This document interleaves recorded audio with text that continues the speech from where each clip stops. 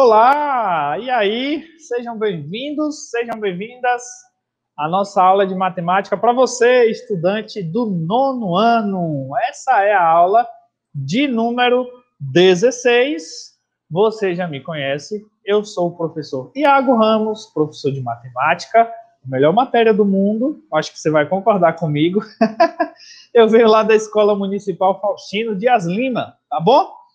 Eu tenho pele branca, cabelos pretos, estou vestido uma camisa branca, por cima também um jaleco branco, atrás de mim o cartaz da Secretaria Municipal de Educação de Feira de Santana, nossa queridíssima princesa do sertão. E o que é que a gente vai aprender nessa aula? Hoje a gente vai aprender a aplicar, aprender a aplicar o conceito de bissetriz. Na aula anterior a essa, a gente aprendeu o conceito de mediatriz, tá? Então, nessa aula a gente vai focar com bissetriz, certo? E para isso, o que é que a gente vai fazer? A gente vai para o nosso quadro, a nossa lousa digital, num passe de mágica, essa some, né? E num passe de mágica, outra aparece. Pronto, tá aí, ó. Olha só. Vamos só dar um, um zoom. Aí, agora sim, bacana, hein? Bom, trago para vocês, trago para você uma situação hipotética, né? Inventada, uma situação inventada. Não aconteceu, mas essa situação inventada pode nos ajudar situações, nos ajudar em situações parecidas como essa aí, com essa no mundo real, nesse mundo que a gente vive, tá bom? Essa situação, né, ela tá lá no livro de matemática Realidade e Tecnologia do autor Joami Souza, editora FTD, do Plano Nacional do Livro Didático 2020, na página 40, certo? Então eu te convido para você pensar junto comigo nessa situação e entender a matemática que eu trago para você nessa aula de número 16. Tá bom? Bora lá? Então é o seguinte, ó. Após uma tempestade, certo poste teve de receber o suporte de duas cordas para evitar que caísse. Bom, e a gente vê aqui as duas cordinhas, ó. Essa cordinha e essa cordinha que estão aqui segurando o poste. Tá bom? Mas continuando a leitura, buscando garantir a segurança, esse poste vai receber o reforço de mais uma corda, que deverá ser instalada de maneira que cada ponto dela esteja a uma mesma distância das outras duas. Como assim, professor? Esse poste já está amarrado por duas cordas.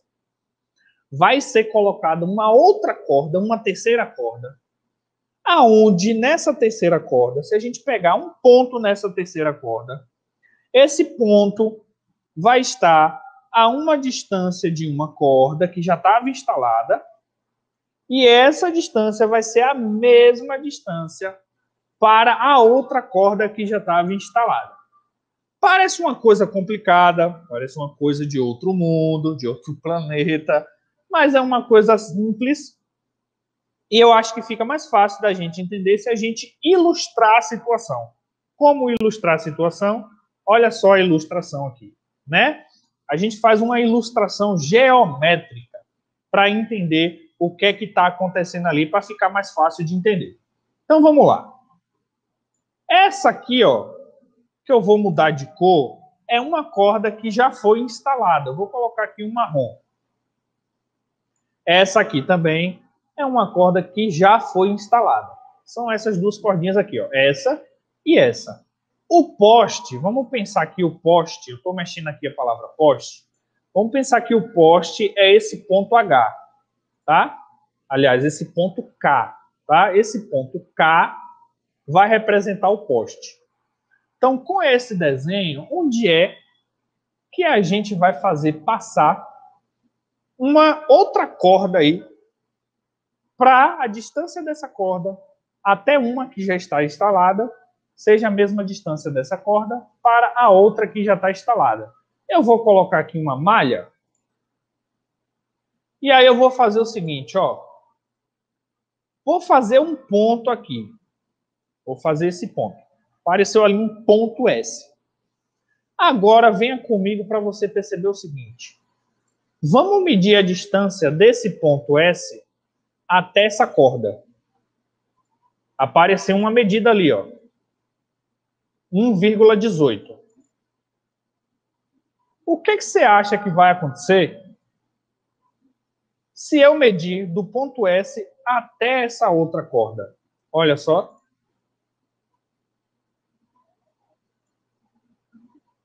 Opa, saiu alguma coisa, eu cliquei em alguma coisa ali errada, mas tudo bem, né?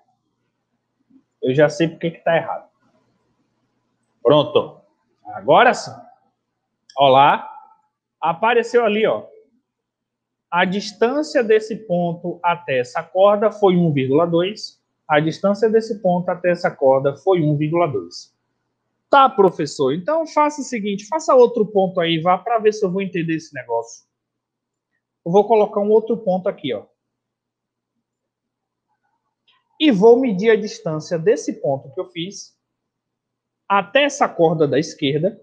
Vai dar um outro valor, tá? Agora deu 1,8. E vou medir a distância desse ponto também até a outra corda. E você acha que vai dar quanto essa distância? 1,8 também. Já estou entendendo, professor. Já estou pegando a visão aí. Se o senhor pegar e ligar esses pontos, se o senhor ligar esses pontos aí, professor, ó, essa, esse segmento de reta, professor, vai ser a outra corda que vai ser amarrada no poste que vai ser amarrada aqui no poste para reforçar e não deixar o poste cair. É isso mesmo. Veja que eu fiz essa corda obedecendo o que ele pedia. O que, que ele pedia? Que a corda fosse instalada onde cada ponto dela ficasse a uma mesma distância das outras duas cordas. Então veja que em cima da corda tem ali alguns pontos que eu fiz que quando eu calculei a distância desse ponto até uma corda que já estava lá, desse ponto até a outra corda que já estava lá, essas distâncias foram iguais, tá? Beleza. Eu vou apagar algumas coisas aqui e vou apenas deixar o segmento que vai representar a corda. Para a gente não ter muitas informações aqui sem necessidade. Porque o nosso objetivo é facilitar e não complicar, beleza? Pronto, então eu vou fazer aqui o segmento que eu quero, ó, segmento, e esse segmento vai ser a corda. Até aqui, ó. Ponto. Quando eu faço esse segmento que representa a terceira corda, o que, é que a gente pode perceber ali? Que essa corda passou por dentro do ângulo que está formado ali. Que ângulo, professor? Me mostra aí. Esse ângulo aqui, ó, verdinho. O segmento passou por dentro desse ângulo e dividiu esse ângulo em duas fatias. Você consegue perceber as duas fatias? Eu vou pintar, ó essa fatia aqui é uma. Essa fatia aqui é outra. Então vamos lá. Repetindo. O segmento passou por dentro de um ângulo, dividiu esse ângulo em dois pedaços, cada pedaço é um novo ângulo, certo? E eu quero medir esse segmento com vocês. Aliás, eu quero medir esses ângulos com vocês. Eu vou medir cada fatia, as duas fatias que ficou dividida ali. Vou e a gente vai perceber o que é que vai acontecer. Eu vou medir essa fatiazinha na verdade, medir para o lado errado. Mas calma, não tem problema. Se a gente errar, a gente corrige, certo? Clicou aqui, clicou aqui, agora fez certinho. Apareceu um valor para o ângulo ali, ó. Essa fatiazinha aqui tem essa medida de ângulo. E eu vou medir o outro também. Vou medir essa outra fatia, ó. Que eu já fui para o lado errado de novo. Tem problema não. Vamos então corrigir. Seguir um caminho errado, não tem problema. Corrige, volta e faz de novo. Olha lá. Perfeito, perfeito, perfeito. Olha só. Veja o seguinte: essas duas fatias de ângulo, esses dois ângulos, o que é que você está percebendo ali que está acontecendo entre eles? Professor, os dois têm o mesmo valor. É. Passou-se ali um segmento, que poderia ser uma reta ou uma semi-reta, mas passou-se ali um segmento, onde esse segmento dividiu o ângulo em dois ângulos iguais. Dividiu o ângulo ao meio, dividiu o ângulo em duas metades. Essa reta, esse segmento de reta ou semi-reta, que divide o ângulo ao meio, que divide o ângulo em duas partes iguais, que divide o ângulo em duas metades iguais. É chamado de bissetriz de um ângulo. Bissetriz. Bi. Bi significa dois. Dois ângulos. Ó, ó, dois ângulos com a mesma medida. Então a gente até pode anotar isso aqui. Olha só. Bissetriz de um ângulo. Vamos escrever da seguinte maneira, vamos deixar registrado na tela, ó. É a reta que passa por um ângulo e o divide em duas metades. Prontinho. Isso é bissetriz de um ângulo. Faltou um Szinho aqui. Tá prontinho aí na tela para você. Até vou colocar isso maior para a gente enxergar direitinho. Ó, tá ficando legal. Só tem um pouquinho de paciência. Aê! Belezinha. E aí eu puxo para cá, ó. Prontinho. Isso é bissetriz, né, de um ângulo. Então ali naquele poste, aquela terceira corda que vai ser colocada, ela vai funcionar como uma bissetriz. Ela vai passar por dentro de um ângulo e vai dividir esse ângulo em dois pedaços iguais. Certo? Bacana? Bom, então construímos aí a ideia do que seja uma bissetriz, certo? Não há mais nada aqui a respeito de bissetriz. A gente só precisava entender o que é a bissetriz e como é que ela funciona, porque pode aparecer situações no mundo real onde seja ela seja importante. Beleza? Vamos fazer a nossa mágica de tirar o nosso quadro virtual em 3, 2, 1. Sumiu, não fui eu. Só estralei o dedo aqui. vamos lá, vamos lá. Agora, vamos compartilhar a outra tela para a gente finalizar a nossa aula de novo em 3, 2, 1. Tá aí. É, alguém fez essa mágica acontecer. Bom, a pergunta que eu tenho é: você curtiu essa aula? Para mim foi massa, espero que para você também. E o que é que foi importante a gente entender nessa aula? Primeiro, reconhecer que tem coisas de geometria importante em situações do mundo real.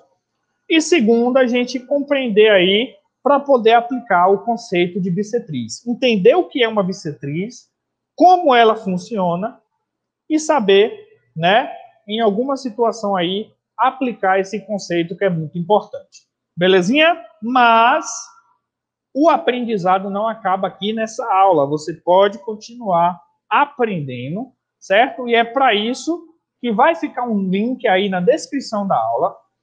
E nesse link você vai ter acesso a um jogo de perguntas, né? Sobre mediatriz. Mediatriz foi um tema anterior a essa aula. E a bissetriz, que é o que a gente está estudando agora, né? É um quiz que eu já vou fazer o seguinte: a mágica de novo do desaparecer na tela. Desapareceu. E agora eu vou abrir para você. Ó, vou fazer a mágica para aparecer o quiz, que eu quero que você veja como é que ele funciona. Ele é bem bacana, ó. Tá vendo? Rapidinho a mágica acontece. Então vamos lá. É só você vir aqui, depois que você acessar o, o, o link, dar um start e a mágica vai acontecer.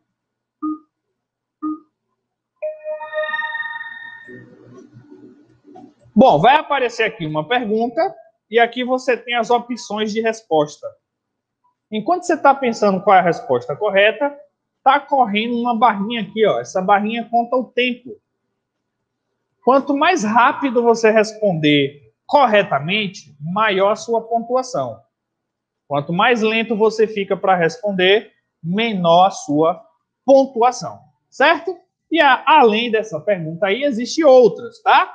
Eu não vou responder, porque eu quero que você responda, tá? Vai respondendo e já vai aparecendo o que é correto e o que é, que é errado. Certo? Bacana? Bom, eu espero que você goste. Já vou fazer a mágica de novo em 3, 2, 1. Desapareceu. e 3, 2, 1 para aparecer a próxima. 3, 2, 1. Apareceu. Né? Bom, é isso aí, né, galerinha? Eu espero que vocês tenham gostado. Para mim foi muito massa. Já fico ansioso esperando a próxima, porque o nosso lema aqui sempre é acreditar que matemática não é problema, matemática é solução. Até a próxima aula. Valeu, bye bye.